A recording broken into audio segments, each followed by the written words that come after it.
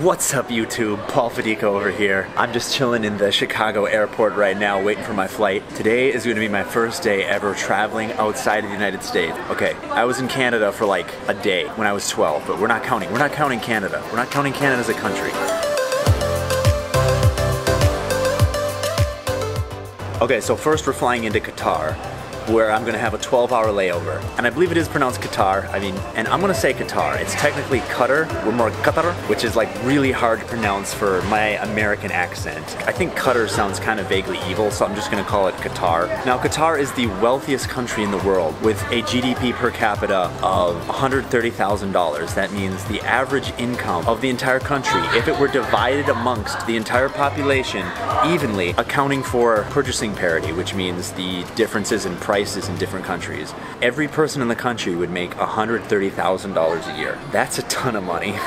Now, if you compare that to United States, the average GDP per capita income is about $57,500. Then after my layover in Qatar, I'm gonna be flying into Nepal, where I'm gonna be staying for two and a half weeks, living with the villagers, living with the locals, helping to rebuild some of their local infrastructure that was destroyed in, in a recent earthquake. You can tell we're in the international part of the Chicago airport because they keep rambling in the announcements in other languages.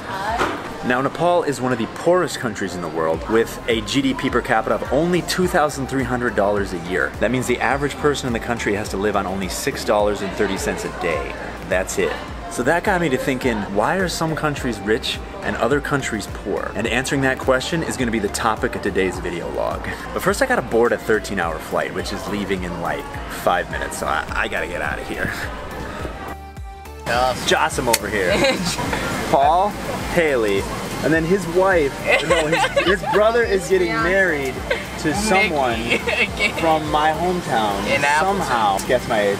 So I want to say like you're older than, at least give me this, you're older than me. Yeah, yeah, I'm older than you, I'm older than you. 25, 26? See, they always get that. I'm actually, I'm actually 33. I'm actually 33, yeah. She's only 21, she's a little baby. 33? Uh-huh, uh-huh. Get the fuck out, man. She always says, that. I know, and then she's always like, Paul, you're getting old. You look old. You look so old today. Listen, I have a friend who's like balding and like uh -huh. shaved his head completely bald and he's only 25. and he looks like he's 45. Poor guy. So I mean, I mean. It's the hair. The, the hair goes. It's bad. Listen, even if he didn't have the hair, the guy would still look 45. I know. I can't believe you're 33. Dude. I know. what are you doing? My little goodie bag. A toothbrush, something kinky, earplugs.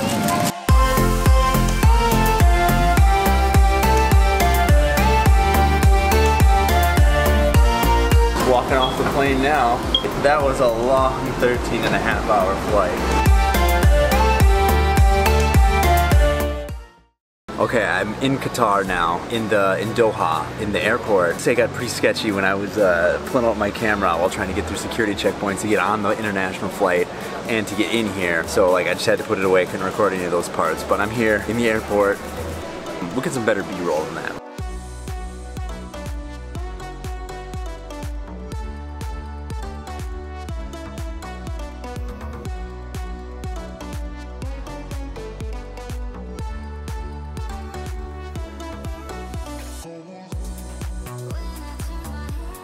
They have some really like weird taste in artwork here. What is this thing? I'm assuming we'll get a copy. When I went through immigration into Qatar, they had like this, this like, they wouldn't let me take a picture of it, but they had this machine with like, like laser camera that was just like, and went down and scanned my whole face. It was like some cool Star Wars like tech for immigration. Anyway, we're waiting for our shuttle and then we're gonna be exploring Qatar. This is what 150 bucks got. Got me 500 it's a one dollar bill. Pretty money. Like the bills aren't even the same size. One's one's bigger than the other one. Qatar has a population of about 2 million people, but only about 300,000 of those are actual citizens. So the other 1.7 million are expats from other countries like Nepal or Thailand who are working here, who are just coming in to work here. And they have kind of like a stratified society going that protects the Qatari, Qatari citizens. Because if an expat who's living here wants to open a business, he needs to have a Qatari citizen as a sponsor who will own at least 51% of that company before he can legally open that business. So that kind of ensures that all the businesses operating in Qatar will be majority owned by Qatari citizens. Now, Qatari citizens, you get a bunch of other benefits. There's no taxes, free healthcare, free education. They actually do a really good job of education here. The, the latest king, he built an entire place called Education City. Much about it, but it sounds cool. The airport I'm in right now, it's only four years old, just built in 2014. We actually landed here in the middle of Ramadan, which is a Muslim holiday. So for an entire month, you have to fast from 3 a.m. to 6 p.m. You're not allowed to eat any food or drink any water at all. It's a Muslim custom so they can appreciate how people who lack those things feel. So then after 6 p.m., so the work days are shorter during Ramadan, and after 6 p.m. everything opens up again and everyone starts partying and eating a whole bunch. It's a bunch of festivity. Chilling here waiting for a shuttle which is gonna take us to a hotel where we can chill and then check out the whole city.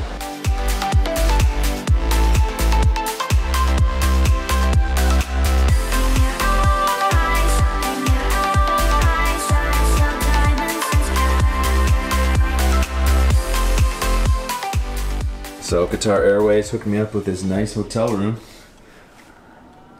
my god, are you a video logger? Are you on YouTube? Do you have a channel? What's your name? I'm gonna subscribe and follow you. As all the kids at the airport it was so cute. Leave a comment in the description down below if you think I should go for the 7 to 12 age demographic. Change up this channel, make it a little more silly, a little more family friendly, age appropriate. I don't know. I'm open to pivoting the concept of my channel. Let's see if I can charge my camera batteries. Is that even is that even an electrical outlet? Like we're just going to make do with whatever battery we have left on this camera. As soon as I landed in the airport, I wanted to go check out the city of Doha, get some cool shots, or the cities, record some cool videos. But one, I was just so tired, and two, as soon as I walked outside, it was like being hit by like an oven. It felt like you were stepping into a sauna. It was so hot. It was so humid. It was a 41 degrees Celsius, which is like 105 Fahrenheit, and my lens immediately fogged up. Like I couldn't even get any footage at all. Came to the nice complimentary hotel Qatar Airways hooked me up with. Took a nap, took a shower, enjoy a post-Ramadan buffet they had. Food here, it's all right. They really love their lamb. And the city of Doha is really American friendly. Everyone here speaks English, although they have a really thick accent, so it's kind of hard to understand what they're saying. And all the signs in the city are written in Arabic and English, so you can tell what's going on. The city is set up to be very friendly to American tourists. But anyway, now that I got the chance to chill in private, I want to go over the main topic of this video log, which is why are some countries poor and some are wealthy? Cut back. Whenever I was walking around the airport with my camera out, some security guard would be like, oh, you can't film here. No, no, you can't film here. It's like, what? The flight was about an hour longer than it otherwise could have been because we had to fly up past the North Pole because we had to go around Egypt, United Arab Emirates, Saudi Arabia, all of which are blockading Qatar right now because they're claiming Qatar is sponsoring terrorism or something or other like that. But whatever. It's a beautiful country, and I'm having a good time. Okay, back to the main topic. I don't like calling countries poor. I'd rather call them stagnant, because that's really what's going on. You have the wealthy countries that just keep growing at 3% a year or more, just getting exponentially more wealthy. Then you have the poorest countries on the bottom of the list, and they have virtually no growth whatsoever. They're just stagnant. The rest of the world has developed and is growing, but they're just stuck in the Stone Age and they can't seem to find their way out of it. Why is that? Because their laborers are not very productive, and they're not very productive because they lack the capital that other more developed countries have. Now, there's three types of capital. The first is physical capital, which is farm equipment, roads to drive on, factories, tools, robots, airports. It's all the stuff that you want to have as a tool to make more stuff. So if a farmer doesn't have a tractor, he's got to use a horse or he's got to plow his field by hand. So a tractor is a physical capital good that he can use to make himself more productive. The second type of capital is human capital up in your head. Your education, your training, your experience. Knowledgeable, experienced, competent workforce to produce cool things that people actually want to consume. Also the technological knowledge and know-how that's been developed over centuries by scientists and mathematicians. Third piece is organizational capital, like businesses. They take the human capital and the physical capital and they combine them together to make, to produce things that people want to consume. Think about all the big businesses in the United States like Apple, Google, Walmart, Walmart. They hire people, they buy things, and they use it to provide a service to consumers. Organizational capital also includes banks, markets, where you can borrow money and invest it in order to grow your business and productive capacity. So, why aren't these stagnant countries able to grow their basic capital and then start using it to produce things? That's because they have corrupt or unstable institutions. Free markets are the most efficient way to allocate capital. So, instead of the stuff that people produce being allocated efficiently by the free market, it's captured by corrupt governments who keep the money for themselves rather than reinvesting it in infrastructure, education, to make their people better off. Instead, these corrupt governments will take the money and siphon it off into offshore accounts to grow their own personal wealth and their own personal dynasty. But corruption isn't just in government, it's in business too. A business leader in one of these stagnant countries, instead of hiring workers based on merit, they hire them based on who they know, who they're related to. That means the best people aren't getting the jobs, instead, their friends and family are getting the jobs. You can also have government private corruption collaborating where the government gives certain private companies in these countries monopolies where they can exploit the people for whatever they want. Geography is another big factor. So, countries located in tropical regions have a harder time farming because of the heat. Your country might also be landlocked, like if you don't have a major harbor where you can do trade with other countries. That's definitely going to hurt that country. There might also be cultural factors, like a religion that discourages wealth creation. Now, Qatar itself is really wealthy because of all the oil and natural gas that it exports. Has so much money that citizens here don't even need to pay taxes. They can get free education and free health care, which is a really nice bonus. But having an abundance of natural resources doesn't necessarily make a country wealthy all natural resources do is serve as an intensifier that will make wealthy, fair countries even wealthier and more fair, but make poor, corrupt countries even more poor and more corrupt. So, in a country like Qatar, which has good institutions, it's wealthy because they have an abundance of natural gas and oil which they can export to other countries, bringing a ton of money into the country. But instead of keeping it all for itself, the government uses that money to invest in human capital like education and physical capital like infrastructure. For example, one of the businesses they created was Qatar Airways, which is owned by the local government, the airline that I just flew in on, which will hopefully end up being a profitable business for the Qatar government. Whereas if Qatar had a more corrupt, unfair government,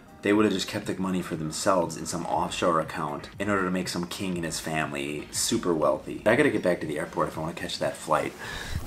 Let's get out of here.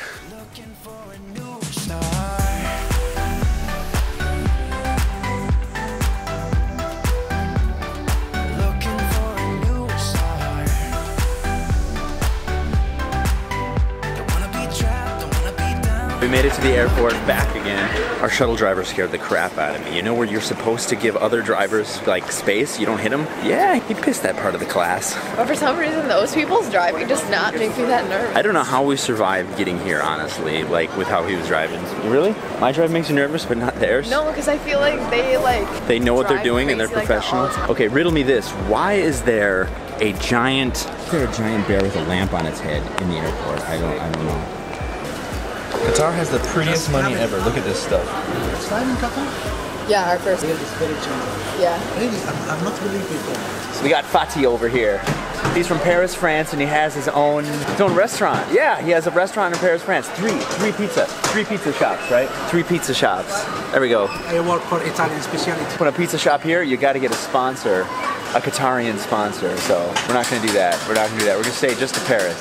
Yeah. Overall, I'd say Qatar is surprisingly like Western and Americanized and modern. Like, if you're from America, you're gonna feel right at home here. It feels more like New York City than anything. The next video I'll be recording will be in Nepal, so go to go ahead and click subscribe if you want to see that. I got a four-hour flight ahead of me. That's it. It's nothing compared to a 13-hour flight. That I left on a Sunday and I'm not arriving till a Tuesday morning. That's how long it takes. Plus, I lost you know 12 hours due to the due to the time zone differences. All right, I'll be seeing you guys again real soon. Peace.